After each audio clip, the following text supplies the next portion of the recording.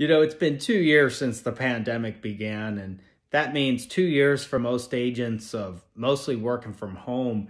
And while there's been perhaps a record amount of online training at this time, is it just me, or does it seem like now more than ever there are more incompetent real estate agents out there? And you have to wonder, especially if you've been around this industry any length of time as I have, why does it seem like this is more pronounced than ever right now? What is it about now that is causing this? You know, there's even entire companies or franchises set up where most of the agents have little to no supervision whatsoever. Perhaps therein lies the connection. So I have a question for you. Are you just a little uncomfortable about agents running around without any supervision? I know I am.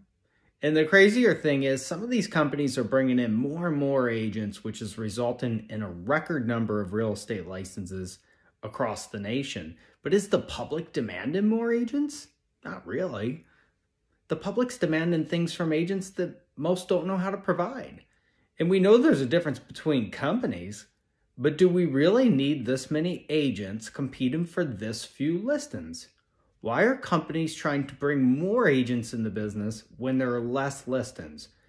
Aren't there about a million or so less houses being sold annually compared to 20 years ago?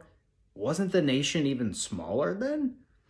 I think agents need proper and experienced supervision and coaching, and it's one of the reasons my company only has full time agents. How would you like to only be surrounded by serious agents?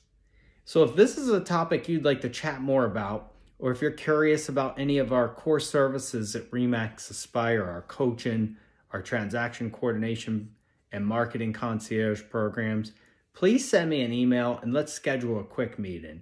Thanks for watching.